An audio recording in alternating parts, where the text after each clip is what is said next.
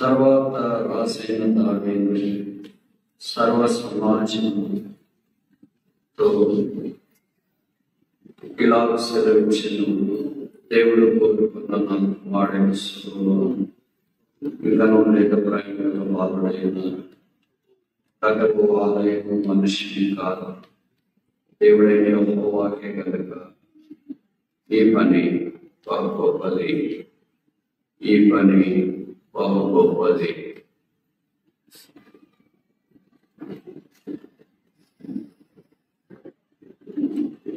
బైబిల్లో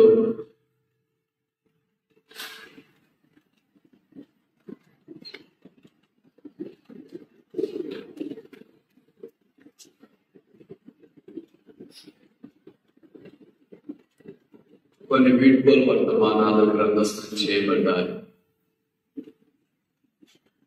వీడ్కోలు అంటేనే అదొక భావపూరిత అనుభవం. అది ఆఖరి మాటలు అవి ఎవరు వినాలని కోరుకోరు. కానీ అది వాస్తవం ఆయన దాటిపోలేదు పాత నిబంధనలో అలాంటివి కనీసం నాలుగు ఉన్నాయి స్థూలంగా. కొత్త నిబంధనలో ఆ వీడ్కోలు వర్తమానాలు స్థూలంగా రెండు కనిపిస్తున్నాయి. మొదటిది యాకోబు తన కుమారులను పిలిచి ఆశీర్వదించిన వీడ్కోలు వర్తమానం ఆది కాండం నలభై తొమ్మిదిలో గ్రంథస్థం చేయబడింది.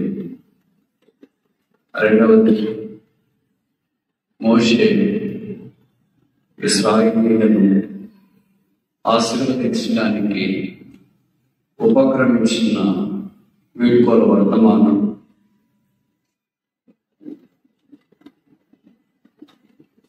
ద్వితీయోపదేశ కాండము ముప్పై మూడవ అధ్యాయంలో ప్రస్తావించబడింది.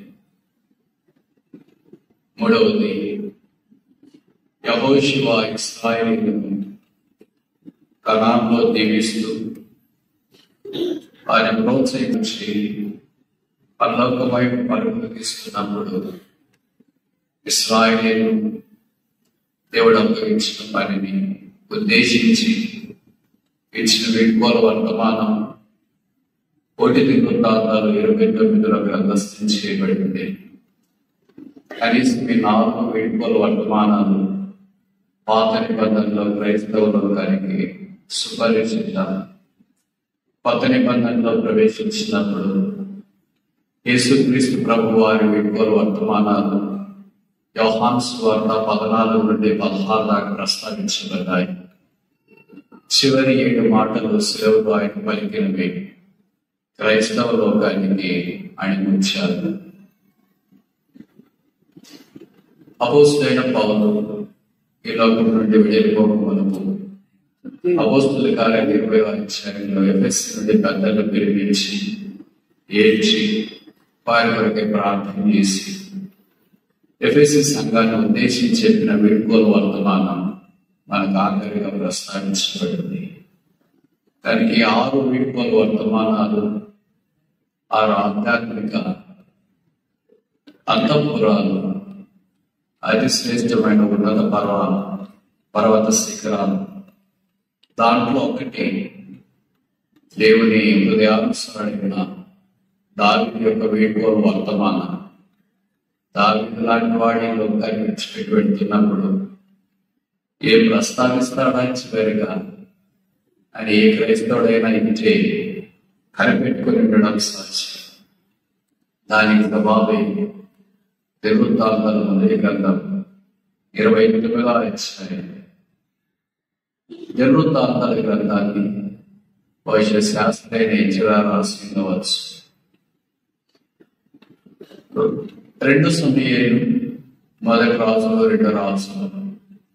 దాదాపు ఈ మూడు పుస్తకాలని సంగతులన్నింటినీ సంగ్రహించి దినవృత్తాంతాలు ప్రస్తావించబడింది కదా. మరలా తిరిగి ఆ విషయాలన్నీ రాయడం అవసరమా? అని సామాన్యమైన సరాసరి క్రైస్తవ లేఖన విద్యార్థి తన మనసులో ప్రశ్నించుకోవచ్చు. అయితే దినవృత్తాంతాల మొదటి గ్రంథం ఒక రాసుల వైఖరి నుండి వ్రాయబడింది కాదు. అలాగే ఆర్థిక వైపు నుండి వ్రాయబడింది. కాదు. అలాగే ప్రవక్తల వైఖరి నుండి వ్రాయబడింది కాదు.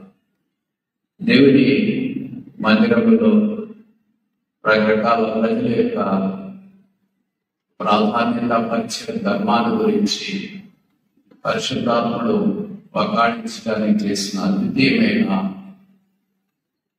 ప్రయత్నం. దినవృత్తాంతాల మొదటి గ్రంథం. ఈ పుస్తకం అసమానమైనది. కనీసం ఐదు కారణాలు మనం గ్రహించవచ్చు. మొదటిది నాకు తెలిసి బైబిల్ అంతటిలో ఆరంభంలోనే తొమ్మిది ఛాయలు జీవియాలజీ వంశావళులను గురించి ప్రస్తావించబడింది. ఆది కారణం ఐదో అధ్యాయం ఒక వంశావళి. లుగాస్ వార్తలో ఒక వంశావళి. ఇలా వంశావళన గురించి బైబిల్ ఐదు సందర్భాల్లో రాస్తారు కానీ తొమ్మిది అధ్యాయులు ఆరంభంలోనే వంశావళం గురించి రాయాల్సిన అవసరం ఉందా?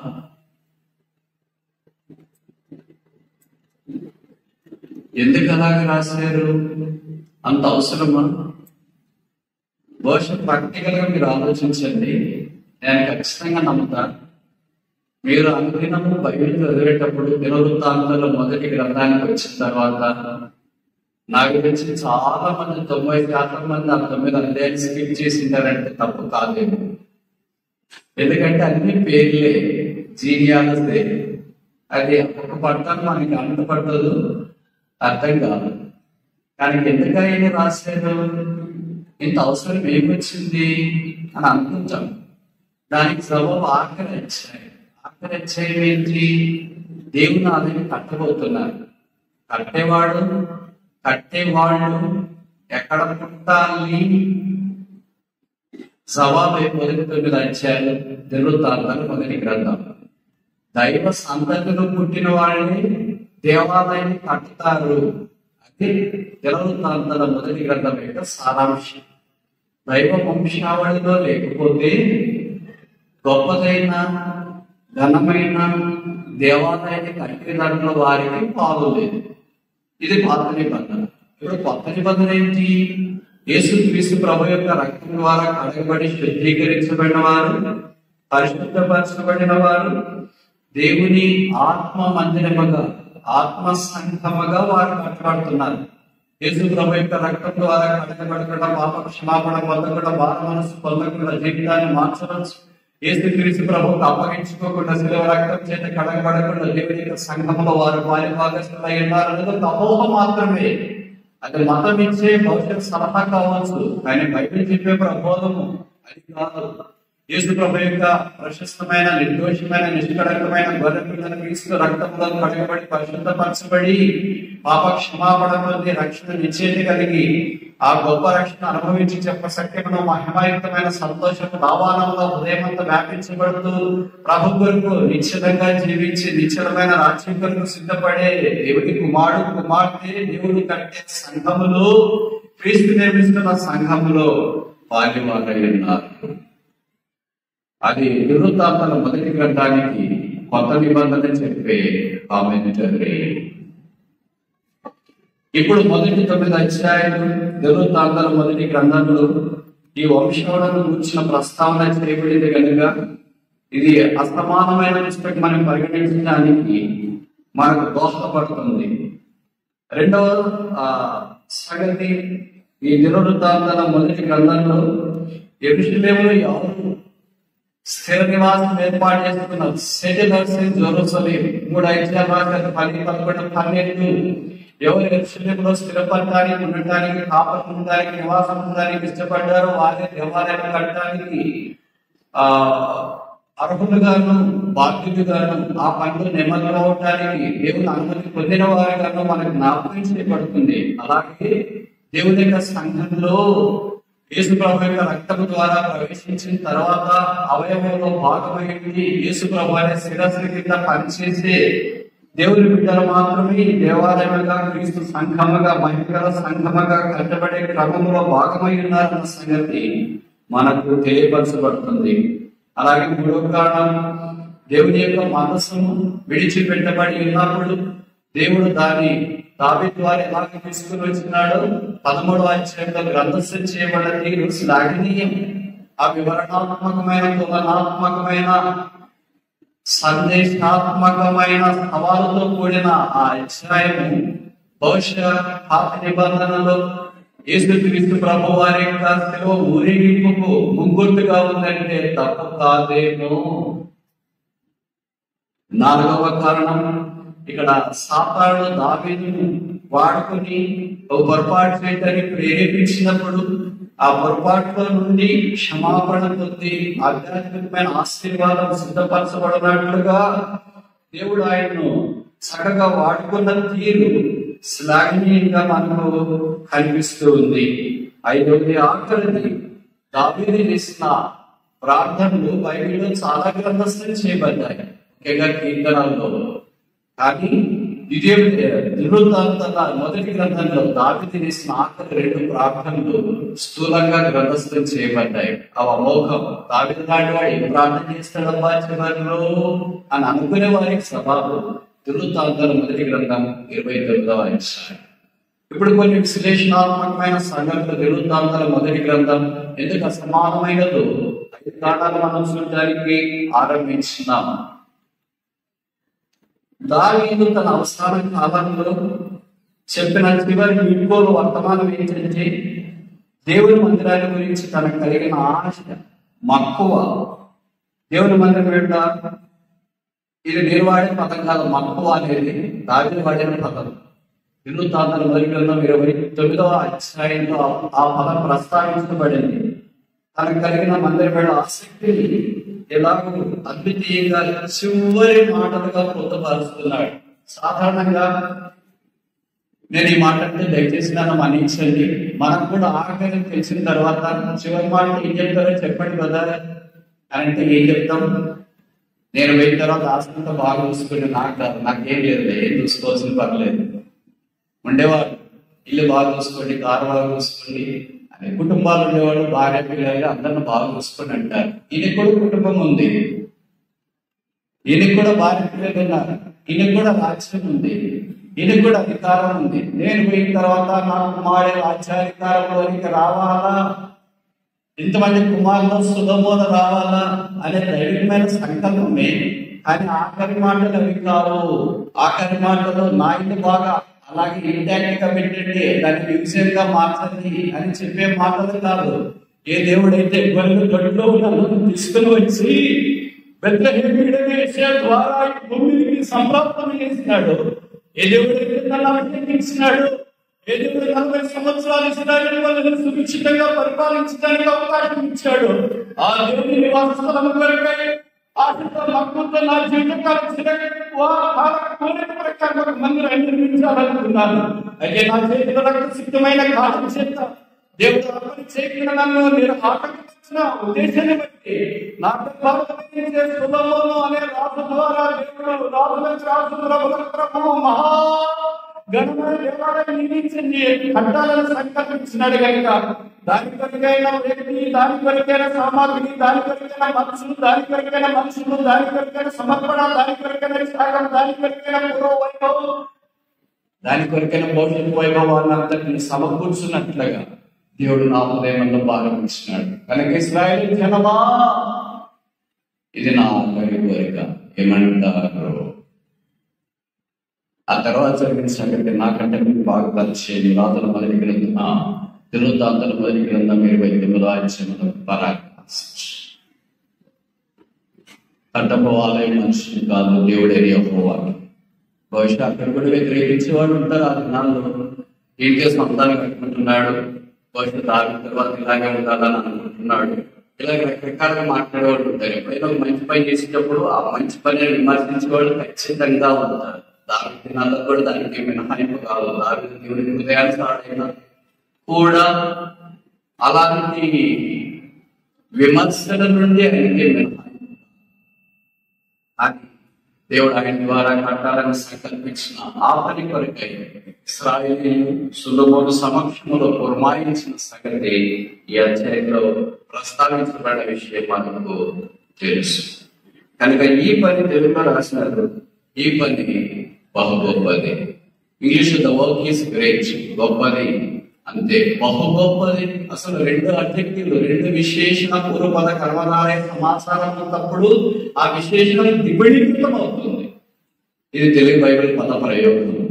పరిశుద్ధాత్మ దేవుడు తెలుగు బైబిల్లో లేదా తెలుగు ఆ, సంపద బైబిల్ పండితులు ఎలా వాడటానికి బహుశా అనుమతించినాడేమో అందుకే బహుళగా బైబిల్లో రెండు విశేషణాలు ఒకే దగ్గర చెప్పబడుతూ ఉంటాయి. ఇంగ్లీష్లో మాత్రం అలాగే రెండు విశేషణాలు ఒకేసారి చెప్పబడతా భవిష్యత్ బహుశా యొక్క పరిమితం కానీ ఇక్కడ తెలుగు భాష యొక్క అపరిమితం బట్టి బహు అనేది విశేషణమే గొప్పదనేది కూడా విశేషణమే. కనుక బహు ప్లస్ గొప్పది రెండు వాడుతున్న పనికి ఎంత ఉదాత్తమైన ఉద్దేశాన్ని పరిశుద్ధాత్మ అప్పగించాడు. విద్యార్థులైన వారికి గ్రహింపులోకి వస్తుందంటే తప్పు కాలేము విద్యార్థులు అంటే చదువుకునే వారని కాదు ఇక్కడ అర్థం దైవవాక్యాన్ని పఠించేవారని అర్థం. కనుక దేవుని మందిరం యొక్క కార్యక్రమాలు నిర్మాణం పాత నిబంధనలో గొప్పది మాత్రం కాదు బహు గొప్పది. గొప్పవి చాలా ఉన్నాయి. బహు గొప్పవి అద్భుతంగా ఉన్నాయి. ఏంటి బహు గొప్పవి?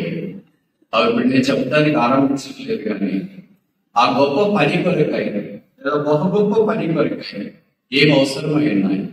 మన సంగతి ఏంటి? ఇలాంటి కొన్ని విషయాలు ఈ దినాల్లో మనం వాక్యాన్ని ఆధారం చేసుకుని తిరుతాంతర మొదటి గ్రంథంలో నుండి పరిగెరుకోవటానికి ప్రయత్నం చేస్తాం.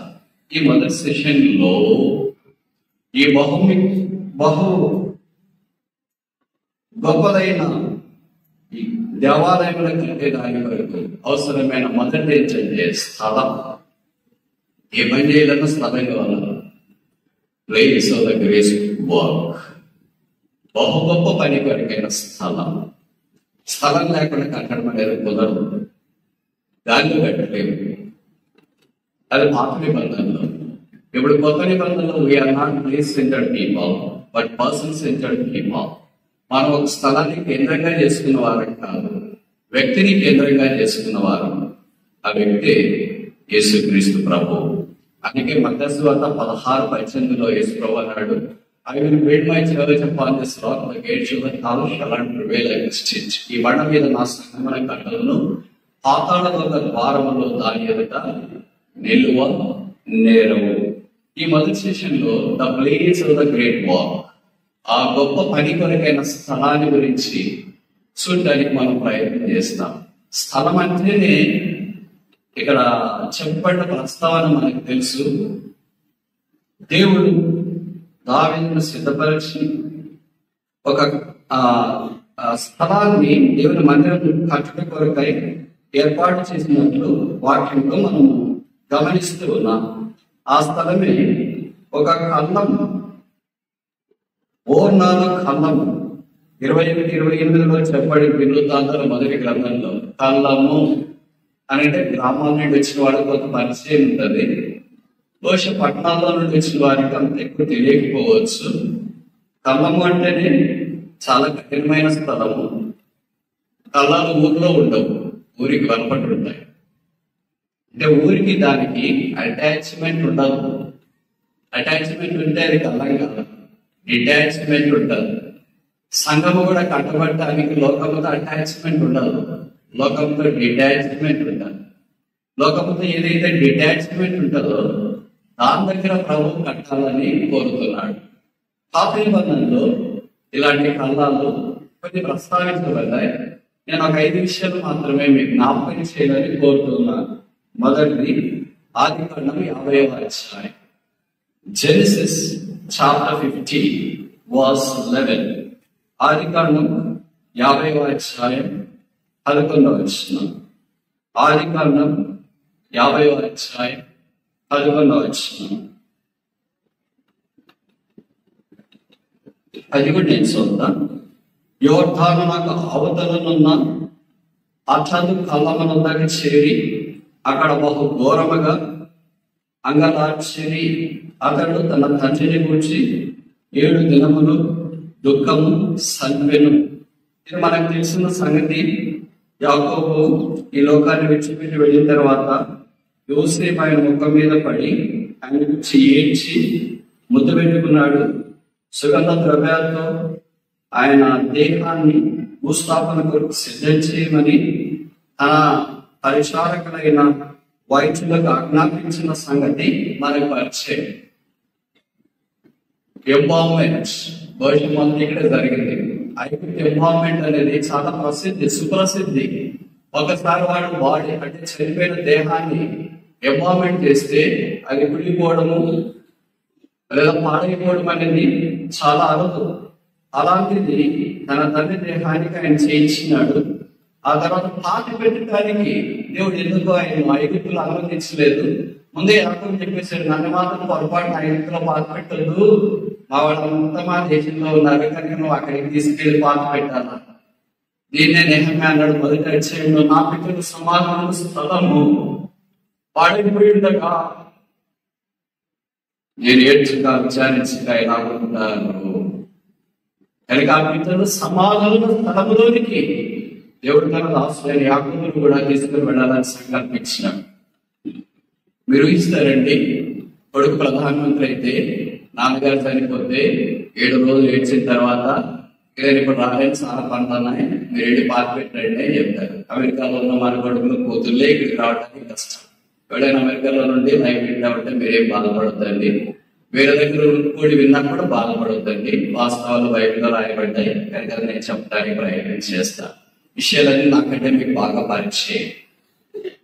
కానీ ఒక ప్రధానమంత్రి హోదాలో ఉన్నా కూడా తండ్రికి తండ్రి స్థానం ఇచ్చినాడు అన్నలకు అన్న స్థానం ఇచ్చినాడు రాజుకు రాజు స్థానం ఇచ్చినాడు ఆయన స్థానాన్ని కూడా ఆయన తీసుకోవడానికి ఇష్టపడ్డాడు.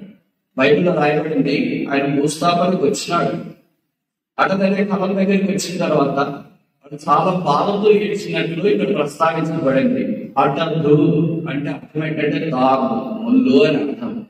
మానవ ముళ్ళు దీన్ని బహుశా అపుస్తైన పౌరు కొరంతికి రాసిన మొదటి పత్రిక పదిహేను అధ్యాయంలో ఓ మానవ నీ ఎక్కడ? సమాధిని విజయం ఎక్కడ? మానవంలో పాపము పాపంలో గల బలము ధర్మశాస్త్రము అనేది కామెంట్రీగా రాసిందంటే తప్పు కాదేమో ఆ మానవ ముందు ఇక్కడ కనిపిస్తుంది. ఆ కళ దగ్గరికి వచ్చినప్పుడే వారు ఎంత వినిపించినట్టు వాక్యం మనం చూస్తాము. అంటే యువసేపుకు వాళ్ళ నాన్న మరణము లేదా వాళ్ళ నాన్న సమాధి తన రాజ్యం కంటే ఎక్కువైంది కాలేదు. లేదా ఇంకోసారి ఇలాగే చెప్తా దానికంటే ఎక్కువైంది. అందుకనే ఆ రాజ్యాన్ని ఆ ప్రజలను వారందరినీ ఆయన వదిలేసి తన తన సమాధి కొరకు వచ్చినట్లు మనం చూస్తున్నాం. తల్లిదండ్రులంటే యూసేపుకి అంత వల్లమాలి అభిమానం. తండ్రి యూసేపును ఎలా ప్రేమించినాడో యోసేపు తన తండ్రిని కూడా అలాగే ప్రేమించినాడు. యోసేపు బ్రతికున్నా కూడా చనిపోయినాడని వాళ్ళ సహోదరులు చెప్పినప్పుడు బైబిల్లో రాయబడింది నేను బ్రతకటి కంటే సహోదరం మేలు అన్నట్లుగా ఆయన బాధపడ్డాడు ఆయన ఓదార్చడానికి ఎవరి కాలేదు. నా దగ్గర ఉన్న ఇక ఇంక నేను ఎందుకు బ్రతకాలా? అన్నట్లుగా యాకో కుమిలిపోయినట్టు వాక్యాన్ని మనం చూస్తున్నాం. ఇప్పుడు అదే తండ్రి కాలం చెందిన తర్వాత యోసేపు కూడా బహుఘోరముగా అంగలార్చినారు సాధారణంగా మనకి తల్లిదండ్రులు అలాంటి స్థానంలో ఉన్నప్పుడు చూస్తే కన్నీడు రావు. చాలా అలాంటి కఠిన హృదయకులు ఉన్నారు. ఇంకా మన వాళ్ళు పైపెట్స్ ఛానల్స్ ఏం చెప్తారంటే చనిపోయిన తర్వాత దేవుడి దగ్గరికి వెళ్ళారు కదంటే మన ఎందుకు ఏడ్చదని ఈ సంగతి యోసేపు తెలియదండి. ఆ కొత్త దేవుడి దగ్గరికి వెళ్ళాడని తెలుసా తెలియదు చెప్పండి? మనందరికంటే ఆయన వాక్యం బాగా తెలుసు. మనందరికీ కనుక తెలుసు. ఆయన తెలిసిన దాంట్లో అంత విశ్వాసం కూడా మనకు తెలియదు. మరి ఎందుకు ఏడ్చాడు బాబు ఘోరంగా చెప్పరింటి ఎందుకు ఏడ్చాడు కొంతమంది ఇలాంటి ఛాందస్వాదులు బయలుదేరారు. నీకు ప్రియమైన వాళ్ళు నీతోనే ఉన్న వారి లోకాన్ని విడిచిపెట్ట విడిచిపెట్టినప్పుడు ఏడుకునేదానికి ఎదిగుండా వస్తుంది. It's emotional feeling you cannot control ఏడుస్తున్నారేంటి? యోసేపు ఏడ్చినాడు మీకు తెలుసుగా?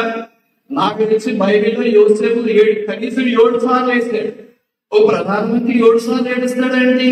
చిన్న చిన్న ఉద్యోగాలు టీచర్లు ఆయన ఉద్యోగాలు చేసేవాళ్ళకి ఏడుపు రాదేంటి యోసేపుకి ఎలా ఏడుపు వచ్చిందండి ఆయనకి జీవితం అంతా దాంట్లో రీతిగా తిరుగుతుందండి. అదే తన తండ్రిలో తను తాను చూస్తున్నాడు. నా తండ్రి నాకు కొరకు రంగు రంగుల చోట్ల అయితే ఆయన వేసాడు ఇప్పుడు నాకెవరు నా తండ్రి నా సహోదరుల కొరకు భోజనం తీసుకోమని చెప్పాడు. ఇప్పుడు నాకెవరు ఇస్తారు నా తండ్రి రావట నేను ఆ, బండ్ల పంపించిన నైతికులు నేను ఇప్పుడు నేను ఎవరు చెప్పాలా?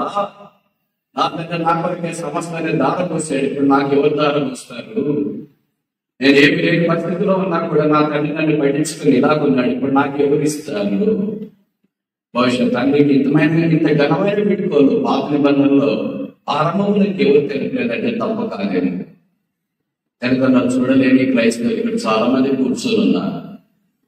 కొంతమంది ఆన్లైన్లో కూడా పెట్టినారు ముఖ్యంగా విశ్వాసులు మన సహవాసం చెందిన వాళ్ళు చేసే చాలా ఘోరమైన పాపం ఒక పాపం ఏంటంటే తల్లిదండ్రులు నిరాకరించిందా పట్టించుకోకపోవచ్చా?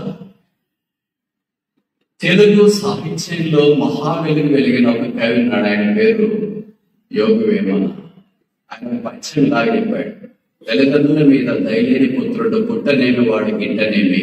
పుట్టలోని చంద్ర పుట్టలా గిట్టలా విశ్వనాభిరామ వెనరవే తెలంగాణ మీద దయలేని వాడు పుట్టినా గిట్ట ఒకటే.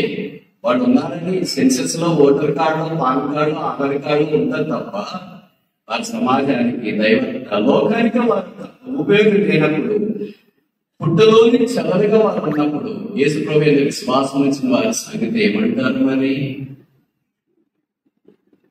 పట్టణం మనకి జ్ఞాపకం చేస్తుందంటే లోకము నుండి వేరైన క్రైస్తవ జీవితాన్ని తెలియజేస్తుంది threshing floor talks about the separation ఐగుప్తిలో వల్లే వెళ్ళారు ఐగుప్తు సమాధంలో వెళ్ళారు ఐగుప్తు పద్ధతులు వీళ్ళకి లేవు కానీ మీరు క్రీస్తులోనికి వచ్చిన వారు వారు బాధ వేదన అంత తండ్రి కొరకే. యోసేపు తండ్రి కొరకు ఏడ్చినట్లు పరలోకం యోసేపు యేసుక్రీస్తు ప్రభు యోసేపు కంటే గొప్పవాడు. మన కొరకై తండ్రి పక్షాన తండ్రితో మరపక్షాన విజ్ఞాపన చేస్తున్న ప్రధాన యాజకుడు. యోసేపు కంటే గొప్పవాడు ఇక్కడ ఉన్నాడు ఆయన యేసుక్రీస్తు ప్రభు. రెండవ కాలం చూస్తామా?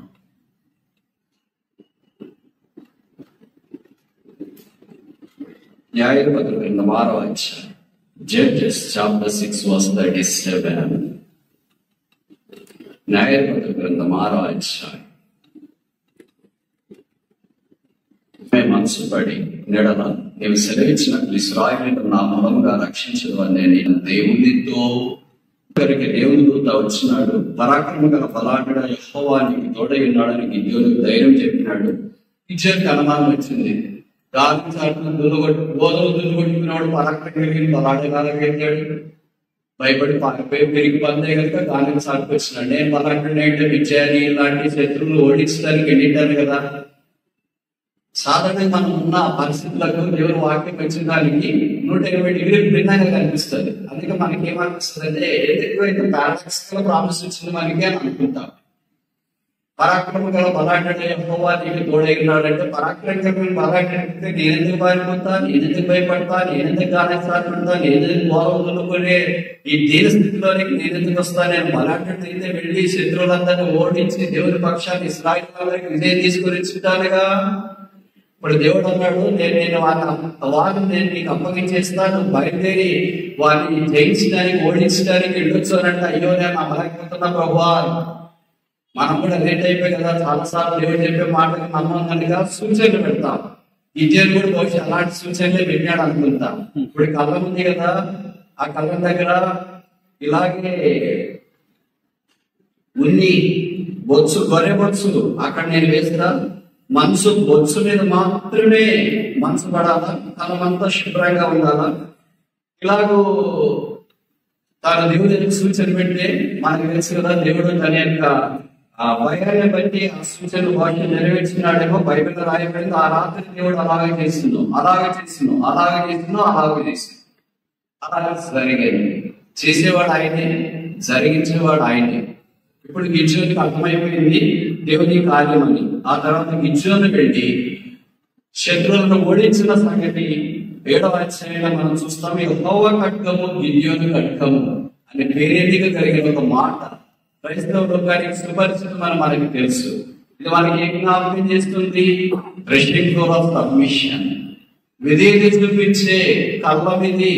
గిద్యోను చాలా గొప్ప బలశాలి దైవ సాధించడంలో అయితే అదే సమయంలో బలహీనమైనప్పుడు దేవుని యొక్క వాక్కు తన ఎదురుకు వచ్చింది. ఆ వాక్యాన్ని ఆయన నమ్మడానికి కూనుకున్నాడు దేవుని ఎదుట తన బలహీనతను పెట్టి పెట్టిన సూచక్రియ నెరవేర్చబడినప్పుడు దాన్ని అంగీకరించినాడు. మరల మరల మరల మరల పదే పదే అలాగే చెప్పేసి పనిగా కొట్టిన వాడు కాదు. ఆ పని కొరికే కూనుకున్నవాడు కనుక దేవుడు ఆయన విశ్వాసాన్ని ఆయన తగ్గింపు సబ్మిషన్ కనపరిచినాడు అందుకే దేవుడు ఆయన వాడుకోవడానికి ఇష్టపడ్డాడు వాడుకున్నాడు. యహోవా ఖడ్గం ఎంత పరాక్రమ కలిగిందో గిద్యోని కూడా ఖడ్గం కూడా అంతే పరాక్రమ కలిగిందని ప్రజలు గుర్తించినట్లుగా విద్యోగులను బట్టి దేవుని ప్రజలైన వారికి తక్కువ మందితో అమోఘమైన విషయాన్ని తీసుకుని వచ్చినట్టు వాక్యంలో మనం గమనిస్తున్నాం. Submission brings success where there is no submission there is no success మనల్ని మనం అప్పగించుకునే ద్వారా విజయం వస్తుంది.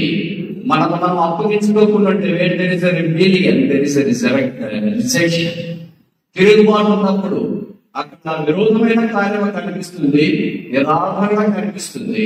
ఎక్కడైతే విజయం ఉంటుందో ఎక్కడైతే అప్పగించుకునేది ఉంటుందో అక్కడ విజయం కనిపిస్తుంది.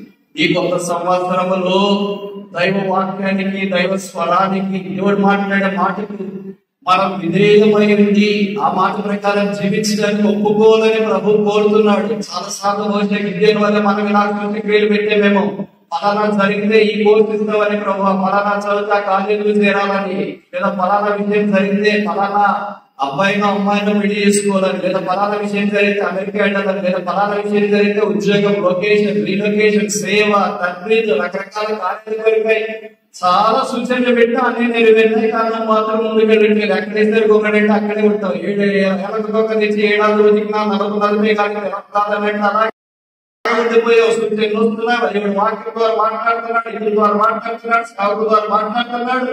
కానీ ధైర్యం చేసి ముందుకు సాగలేకపోతున్నా ధైర్యం చేసి గిద్యోను ముందుకు సాగకుండా ఉంటే ఆరో అధ్యాయంలోనే ఉండిపోయాడు. ఏడో అధ్యాయంలోనే కానీ వచ్చినవాడు కాదు విజయం భరించేది కాదు. దేవుడు కృతజ్ఞత యహోవ కట్టము గిద్యోని కట్టమని గిద్యోని యహోవ దగ్గర నుంచి చేర్చుకునేవారు కాదు.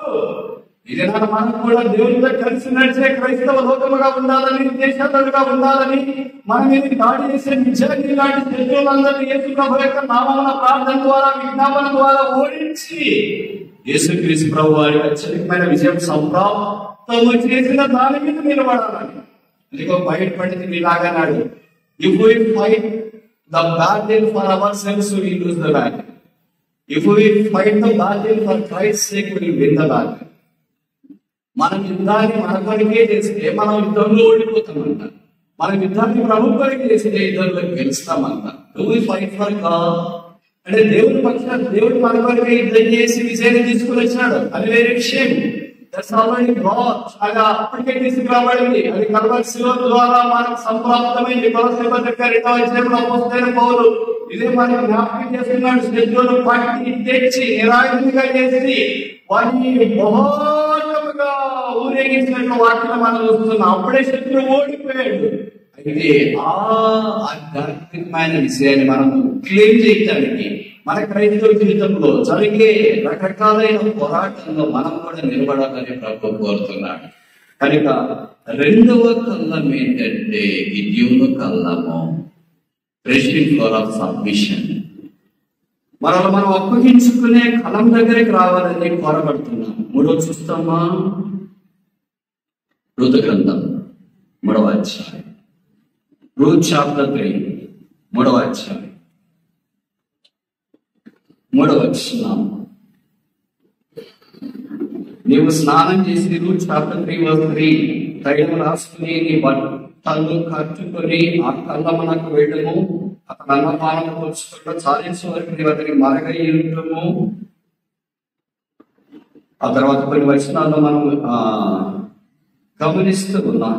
కానీ ఇక్కడ పోయేసి కల్లా ఇది మీ సేవించడం సర్వీస్ మన జ్ఞాపకం చేస్తుంది రుతు దాని అంత మాటను బట్టి ఇలాగ దైవికంగా మోయేసిన సేవించడానికి సిద్ధపడుతుందో ఈ వాక్యం మనకి ఇచ్చే జ్ఞాపకం మన క్రైస్తవ జీవితాల్లో కూడా యేసు ప్రభు రక్తం ద్వారా కడగబడిన మనము ఆధ్యాత్మికమైన రుతు లాంటి ఒక ఆ పరలోకపు వధువుగా అంగీకరించబడ్డాం. పరలోకపు భోజన యేసుక్రీస్తు ప్రభు వారిని అనుదినము మనం కలుస్తున్నాం రోజైతే కళ్ళంలో పది సందర్భాల్లోనే తెలుసు మనమైతే ఆ ప్రభువుని వాక్యం ద్వారా ప్రార్థన ద్వారా ఇలాంటి కోడికల ద్వారా సహవాసం ద్వారా ఆ పనులకు భోజనం కలుస్తున్నాం భోజనం అంటే గొప్పవాడని యేసును మనం కలుస్తున్నాం అయితే ఆ భోజనం సేవించడానికి తీర్మానం చేసుకున్నట్టు వాక్యంలో రాయబడింది స్నానము చేసి తైలం రాసుకొని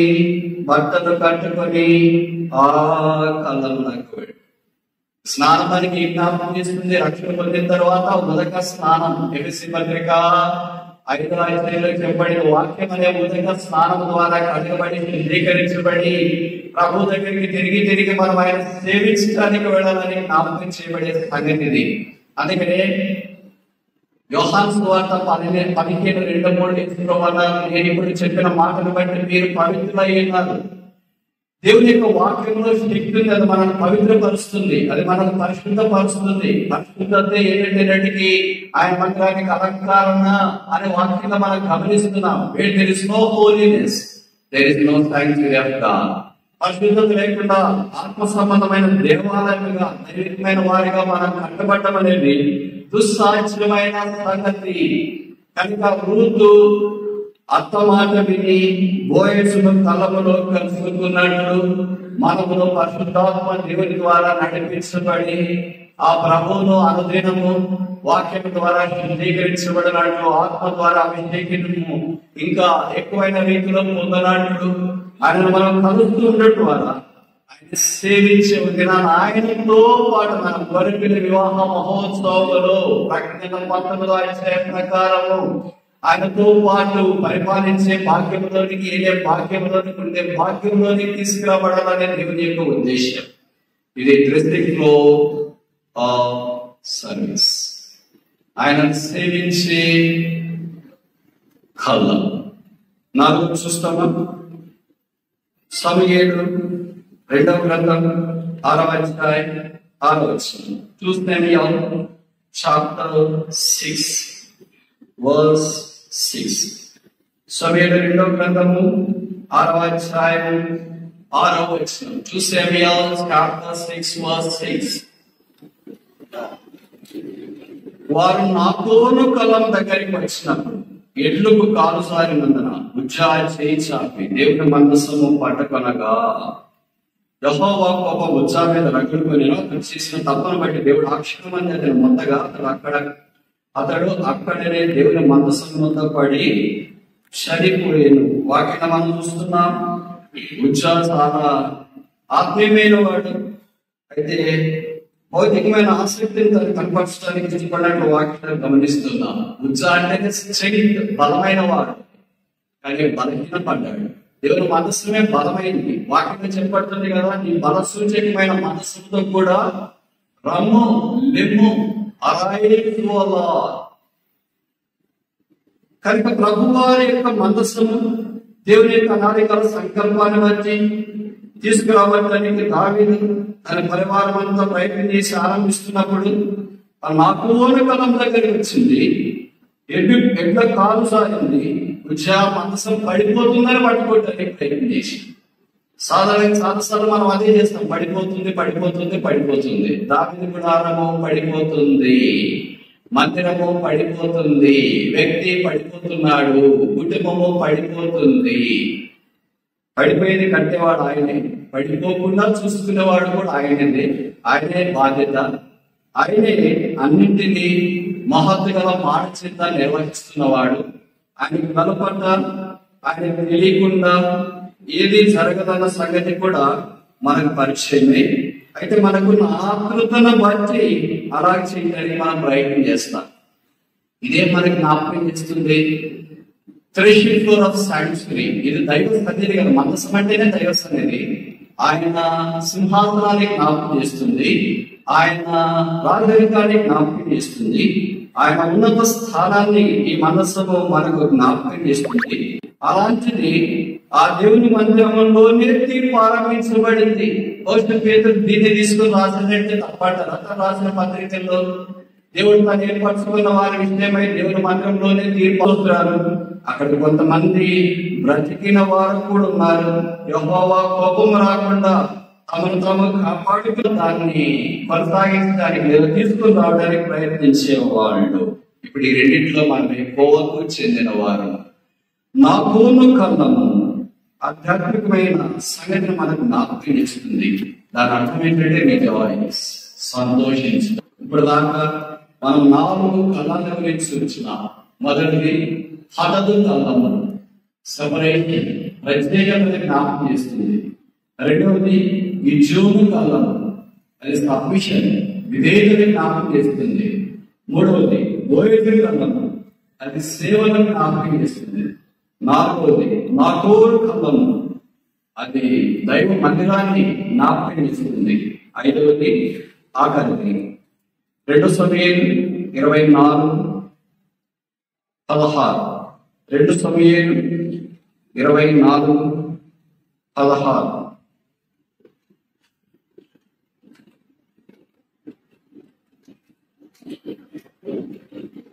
చివరి వర్షం నేను చదువుతా ఎక్కువ దూత ఎబూసీడైన అరవనా యొక్క కళ్ళమ దగ్గర ఉండగా ఈ వృత్తాంతం మనకి పరిచయం కదా. జనసంఖ్య చూడాలి సెన్సస్ తీసుకోవాలని దావికు మనస్సు కొట్టుకునింది.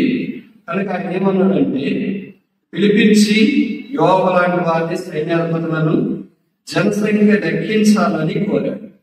అది యెహోవా దృష్టికి ఇష్టమైనది కాదు. నేను చాలా దైవికమైన వాడే కానీ కొన్ని పనులు చేసిన సంగతి మనకు పరిచయం దినవృత్తాంతాల మొదటి గ్రంథం ఇరవై అధ్యాయంలో ఇదే ప్రస్తావించబడింది. One Chronicle chapter twenty one it is the place of the great walk గొప్ప పని కొరికైనా స్థలం ఏంటి అనేది ఇరవై ఒకటో అధ్యాయం నుండి ఆరంభించబడుతుంది. ఇరవై ఒకటో అధ్యాయం మొదటి వచ్చిన తర్వాత సాతాను ఇస్రాయేళ్ళకు విరోధముగా లేచి ఇస్రాయేల్ లేచి దావీదును ప్రేరేపింపగా. సాతాన ఇస్రాయేళ్ళకు విరోధముగా లేచి మీకు తెలుసు కదా? సాతాను ఇస్రాయిలకు విరోధముగా లేచి దావీదును లెక్కించా దావీదును ఇస్రాయేల్ లెక్కించడానికి ప్రేరేపించింది అని. సాతాను అని మాట బైబిల్ ఎక్స్ట్రా రాయబడింది తెలుసా? మొదటిసారి ఎక్కడ రాయబడింది తెలుసా? ఆఖరిసారి ఎక్కడ? ఇది ఎన్నోసారి సాతాను అనే మాట నాకు తెలిసి బైబిల్లో మొదటిసారి ఇక్కడే అనుకుంటా. యాభై సార్లు రాశారు. పనుల గురించి. ఒకసారి చెప్పనా మనవుని గురించి యాభై ఆరు సార్లు రాశారు. ఆ పదం మొదటి ఇక్కడే వాడారు. అయితే దావీతోనే వాడారు. ఎంత కష్టమైన పరిస్థితి కదా. దావీదును దేవుడితో మొదటి మొట్టమొదటి మనం పరిచయం చేయాలి కానీ ఇక్కడ సాతాన్తో పరిచయం చేశారు. సాతాను దావి దగ్గరికి బహుశా ఎప్పుడో ఒకసారి వచ్చిపోతుంటాడు. మన సంగతి మరి? మన దగ్గరికి ఎప్పుడు వస్తున్నాడు? అసలు పోతే కదా రావటానికి దావి దగ్గరికి అప్పప్పుడప్పుడు వచ్చినాడు అమ్మాసకు పౌర్ణానికో ఏదో బలిగిన పరిస్థితుల్లో సైతం వచ్చినాడు. దావి ఓడించే ప్రయత్నం చేసినాడు. ఆయన కొన్నిసార్లు ఓడిపోయిన తిరిగి లేచి నిలబడి కలిగినాడు మరి మనసుకి తెచ్చి అందుకనే నేను అంటుంటా మన దగ్గర నుండి పోతే కదా రావడానికి బహుశా వాడిని తీసుకుని ఉంటాడు అనుకో నాతో ఏంటి అటు ఏంటి తిరుగుతా ఉంటాడు. యేసు ప్రభు నామం యేసు ప్రభు అందించినాడు కదా పేరు సాతానా నా వెనుక పో. పోయినాడు అలాగే పోవచ్చుగా. పోడు మళ్ళీ తిరిగి తిరిగి వస్తా ఉంటాడు. ఇక్కడే తిరుగుతూ ఉంటాడు. ఎక్కడ తిరుగుతున్నా అంటే ఇక్కడే. కర్మేలో అనుబంధ సంఘాలు విశ్వాసాలు వాళ్ళ మధ్యలో ఇక్కడే నేను తిరుగుతా ఉంటా. ఎందుకంటే ఇది నాకు నివాస స్థలం. మీకెందుకే నివాస స్థలం ఇది యెహోవాకు నివాస స్థలం అంటే మరి ఆయన నేను కూడా అక్కడ ఉండాలి కదా. ఆయన ఏం దగ్గరికి అక్కడికి వెళ్ళడు? ఆయన ఎక్కడుంటాడో ఎక్కడ ఆయన నివాసం చేస్తాడో అక్కడే ఉంటాడు. ఈ సాధారణ వస్తాడు. మరి తెలుసు కదా దేవుడి బిడ్డలైన ఇస్రాయల్ విషయంలో చాలా గొప్ప మనస్సు కలిగింది అలాంటి దావేది దేవుడి బిడ్డలైన ఇస్రాయల్ లెక్కించాలని నాకు ఎంత సైన్యం ఉందో ఇతరులకు తెలియజేయాలని ఆయన కోరుకున్నాడు. ఆయన సైన్యాన్ని గురించి కొంత భవిష్యత్ అతిశయం వచ్చిందో ఏమో మనకు తెలియదు. అది యహోవా దృష్టికి ఇష్టం కాలేదు. అందుకని యహోవా లాంటి వాడు చెప్పాడు అయ్యా మీరు అలాగే చేయడం మంచి పని కాదు. ఇది అంత ఉపయోగకరమైనది కాదు అని అంటే రాజు మాట చెప్తుంది కదా సైన్యాధిపతి మాట ఏం చెప్తుంది అందుకని వాటిని వెళ్ళారు లెక్కించినారు. అది దేవుడి దృష్టికి అంగీకారం కాలేదు. ఇప్పుడు దేవుడు దావీదు వద్దకు ఒక దీర్ఘదర్శిని పంపించినాడు. ఆయన పేరు గాదని మనకు తెలుసు. దావి దగ్గర పరిస్థితి చేయడానికి ఇద్దరు గొప్ప వ్యక్తులు ఉన్నారు. దాంట్లో నా ఒక కాదు. అంటే ఒకటి ఈయనకి ఇద్దరు పంపించినారు. ఎందుకు పంపిస్తున్నారు ఇద్దరిని? ఇద్దరు సెట్ చేస్తే కానీ సెట్ కాడు అని అర్థం. ఒకరు సెట్ చేసి సెట్ అయ్యే మనిషి అయితే ఒకడే పంపించింటారు ఇద్దరు సెట్ చేసిన నాతను కాదు. అలా పెట్టేసి దావేది తనకు వేరంసాటిగా దేవుడు సిద్ధపరచుకోవాలని కోరాడు. ఇప్పుడు కావచ్చు దావేది అన్నాడు నువ్వు చేసిన పని చాలా ఘోరమైన నీకు పాపం వస్తున్నావు కనుక దేవుడు ఇలాగ చెప్పని పంపించిన మూడు విషయాలు ఏదైతే వస్తున్నా మూడేళ్ళు కర వస్తుంది. మూడు నెలల శత్రువులు కత్తిలు స్థలంతారు. మూడు దినాలు దేశం యహోవా కట్టేస్తుంది ఏది ఏం చాయిస్? మీకు తెలుసు కదా ఈ దినాల్లో విద్యార్థులు పరీక్ష రాసేటప్పుడు ఆబ్జెక్టివ్ క్వశ్చన్స్ ఉంటాయి. ఇప్పుడు ఆబ్జెక్టివ్ క్వశ్చన్ పేపర్ మొదటి ఎవరు రాస్తారో తెలుసా? తాగింది. ఈ చిత్రం ఏంటంటే ఆయన రైట్ ఆన్సర్ పెట్టాడు.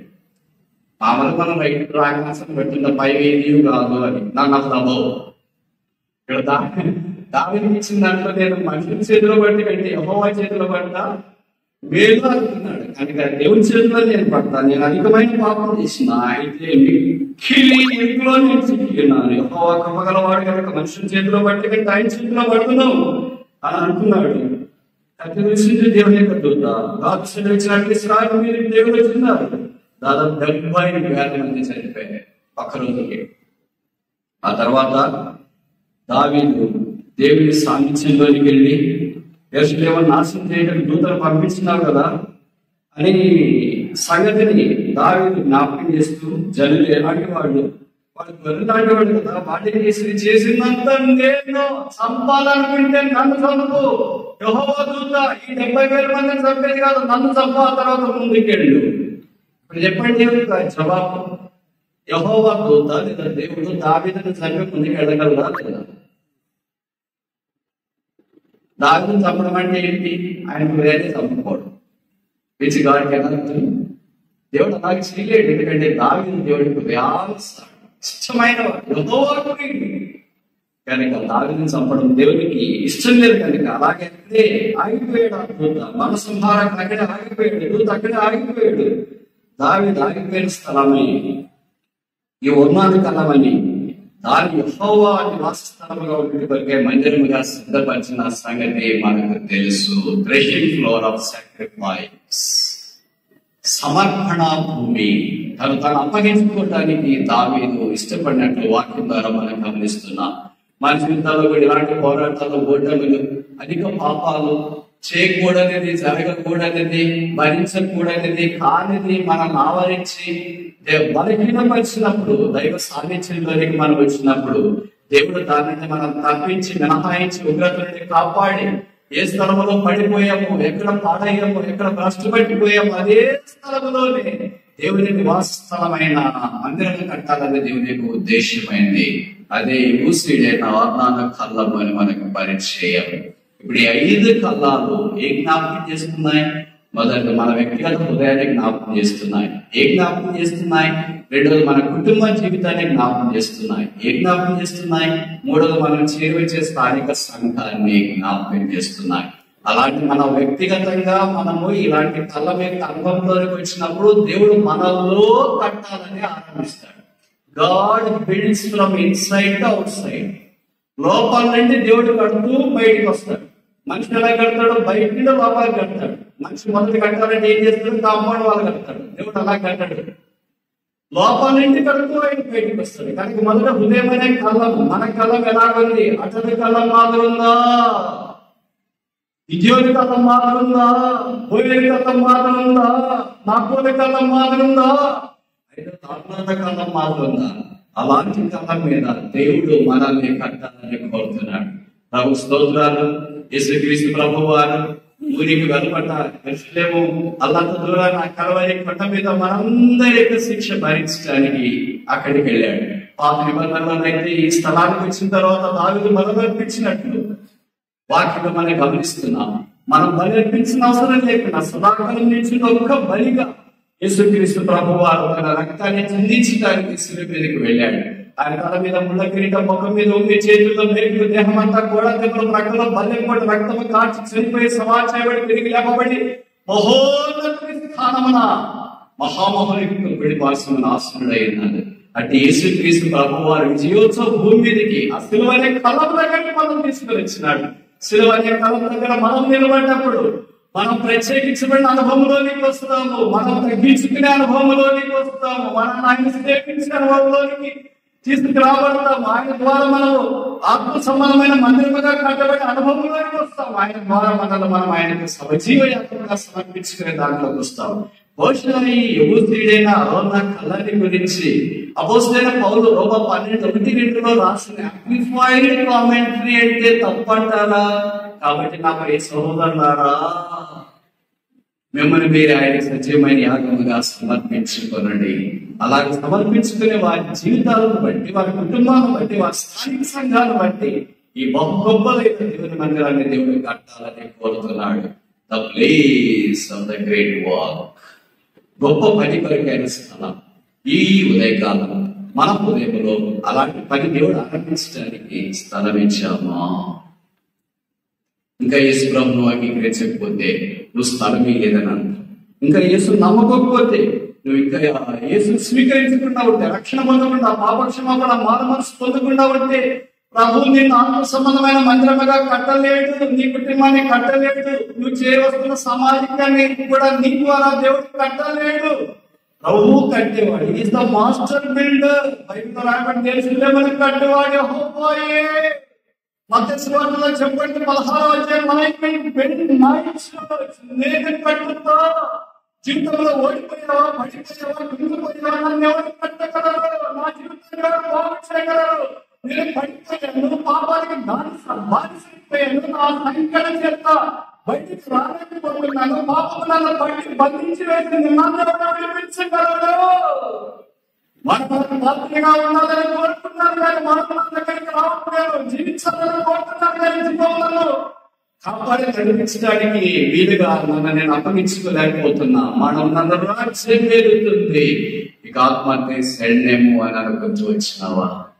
ఎంతకాలం బతకాలి ఇలాగా కొత్త సంవత్సరంలో దేవుడు నీకు ప్రేమించి ప్రవేశం అనుగ్రహించినాడు ఎందుకో తెలుసా? లోకంలో సుఖముగా సౌఖ్యముగా జీవించి పాపములు ఇంకా కొట్టు వెళ్ళిపోవాలని ఇంకా మునిగిపోవాలని యేసు ప్రభు యొక్క శిలువను చూసి పాప క్షమాపణ పొందే యేసు ప్రభు వారికి హృదయాన్ని అప్పగించుకుని రక్తం ద్వారా కడగబడి శుద్ధీకరించబడి ఆత్మ సంబంధమైన ఓ గొప్ప వ్యక్తిగా దేవుడు నిన్ను నిర్మించాలని కోరుతున్నాడు. పునాది కొంత ఆ జీవితాన్ని మార్చేవాడు ఉందా జీవితంలో ఓడిపోయావా కృంగిపోయావా దసిపోయావా సోలిపోయావా చదువులో ముందుకు రాలేకపోతున్నావా ఉద్యోగం దొరకపోతుందా వ్యాపారంలో నష్టాలు వస్తున్నాయి. కొంతమంది ఏ వ్యాపారం ఏం సరే వాళ్ళ కాలు పెడితే అంతదాకా బంగారం కూడా మన అయిపోయే పరిస్థితిలోకి వచ్చినారేమో. నేను ఎలాగ చేయాలా అప్పుల్లో కూరుకుపోయాను ఆత్మహత్య నాకు శరణ్యం నా కుటుంబం సరిగా లేదు నేను సరిగా లేదు నా జీవితం సరిగా లేదు నా పొలాలు నా పంటలు లేకపోతే నాకు సంబంధించిన పాటి పైరు పంట పశువులు ఇవన్నీ కూడా నా మీద విరోధంగా తిరిగిపడుతున్నట్టు అనిపిస్తుంది. ఆహా కటకట ఇది ఏమి జీవితం. ఇలాంటి ప్రశ్నలతో సోలిపోయి డసిపోయి బహుశా నువ్వు ఆత్మహత్య చేసుకోవాలని వచ్చినావేమో. బయట చదివిస్తుంది. నీ కొరకు ఒక వ్యక్తి మరణించినాడు. నువ్వు మరణించాల్సిన పని లేదు. బికాస్ నీ దాయి యూ కెన్ లేవు. ఆయన చనిపోయాడు కనుక నువ్వు బ్రతకొచ్చు. నువ్వు బ్రతకొచ్చు. నువ్వు బ్రతకొచ్చు. సాతాన్ ఏం చెప్తారంటే నువ్వు సావు నువ్వు సావు నువ్వు సావు అని. బైబిల్ ఏం చెప్తారంటే you live you live you live you live.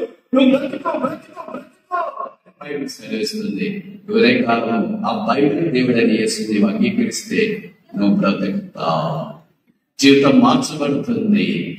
ఏ రక్తం ద్వారా కడగబడతావు. పర్లోక రాజ్యం వారసులు సమాధానం నెమ్మది నీదవుతుంది. ఆ యేసు నీకొద్దా ఆ పాపల రక్షక నీకొద్దా ఆయన నేను ప్రేమించి నీ దగ్గరికి వస్తూ ఉన్నాడు. బహుశా యేసు ప్రభు యొక్క ప్రేమ సందేశం నీ దగ్గరికి సామాన్యమైన విధానంలో వస్తుంది. ఆ యేసుని స్వీకరించవా? అదొక ఊరు ఇలా వారాంత పరిచయం కొరకై అక్కడికి నేను ఆహ్వానించబడ్డాను. రైల్లో ప్రయాణం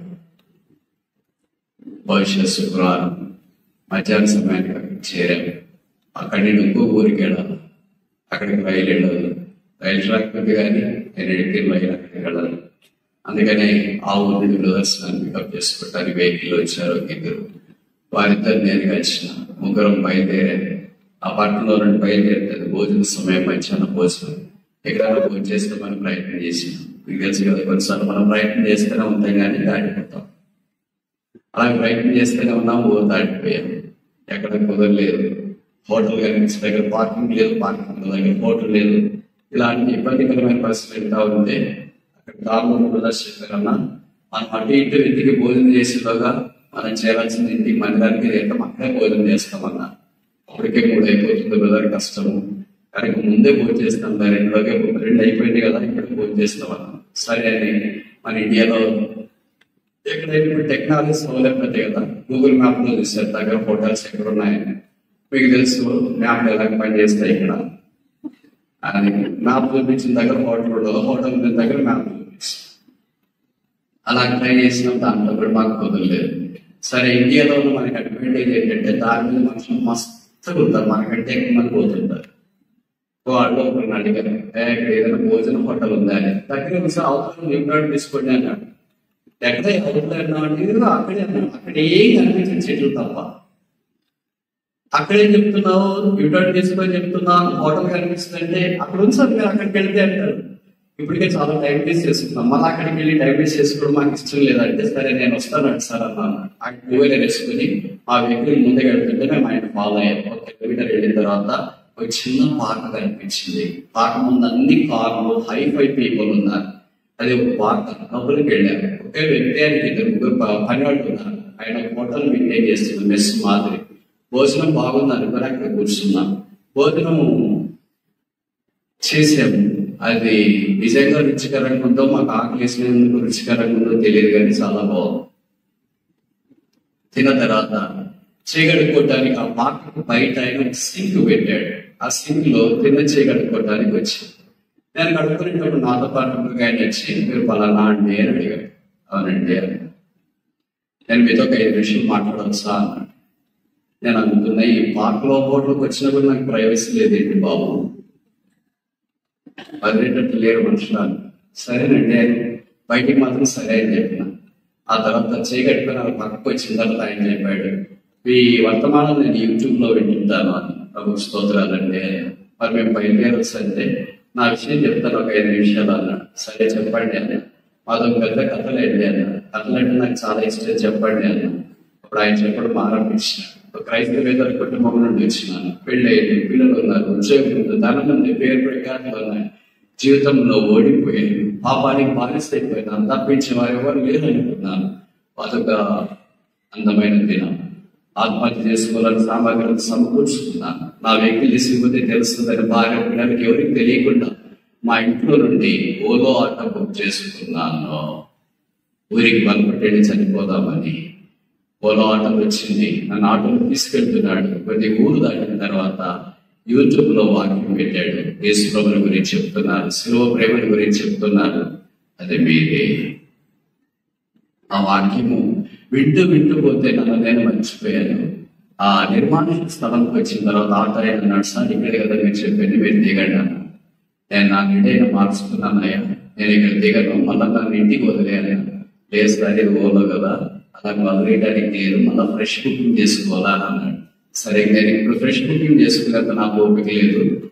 కానీ నేను ఇదే మాటలు వినాలనుకుంటున్నాను. ఈ లింక్ నాకు ఫార్వర్డ్ చేయమని మొబైల్ చెప్తే ఆయన ఆ లింక్ నాకు ఫార్వర్డ్ చేశాడు. ఆయన వెళ్ళిపోయాడు. నేను మనుషుల ప్రదేశం. చెట్లు విపరీతంగా ఉన్నాయి. ఓ చెట్టు కింద కూర్చున్నాను ఆత్మ చేసుకోవడానికి తెచ్చుకున్న సామాగ్రి దగ్గర పెట్టుకున్నాను ఎలాగో చనిపోవాలనుకున్నాను కదా.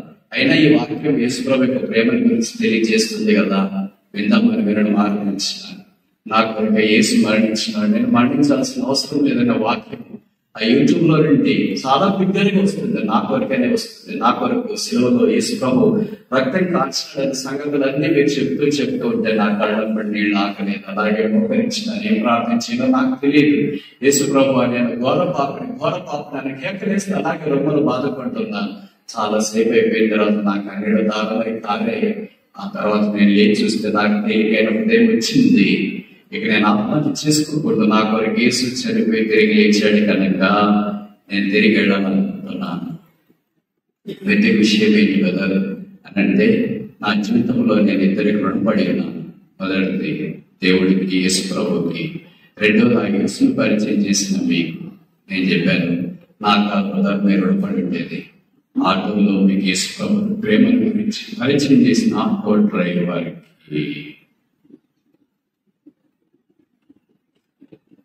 యేసు ప్రభు ప్రేమను పరిచయం చేయడానికి ఇలాంటి ఆటో బోధకుడు స్పీకర్ ఇవేం అవసరం లేదు. ఆటో తోలుకునే వ్యక్తి కూడా యేసు ప్రభు యొక్క ప్రేమని తనకు పరిచయం చేస్తాడు. మనపై పెడుతున్న మానవుని పట్టి లాగటానికి సిలువ సామర్థ్యం కలిగింది. ఇప్పుడు నేను సిలువ ద్వారా రక్షించబడ్డా నా చేత మార్చబడింది. చాలా సంతోషంగా ఉన్నాను భార్య పిల్లలు ఇక్కడ నేను దగ్గర ఉద్యోగం చేస్తా. మధ్యాహ్నం భోజనానికి ఇక్కడికి వచ్చినాను. మీరు మా ఆఫీస్కి వచ్చి ప్రార్థన చేస్తారా? నా కళ్ళు చెమ్మగిల్లాయి నాకైతే మనం వైపు పెడుతున్న ఒక వ్యక్తి వేస్తున్న వికసిలో అడ్డుకొని రక్షణార్థమైన వెలుగు ప్రసాదింపజేసి జీవితాన్ని మార్చుకుని కుటుంబాన్ని కట్టగలిగిందంటే అంతకంటే సంతోషం భూమి మీద ఉంటుంది. దైవమా ఇది ఏమి ప్రేమ?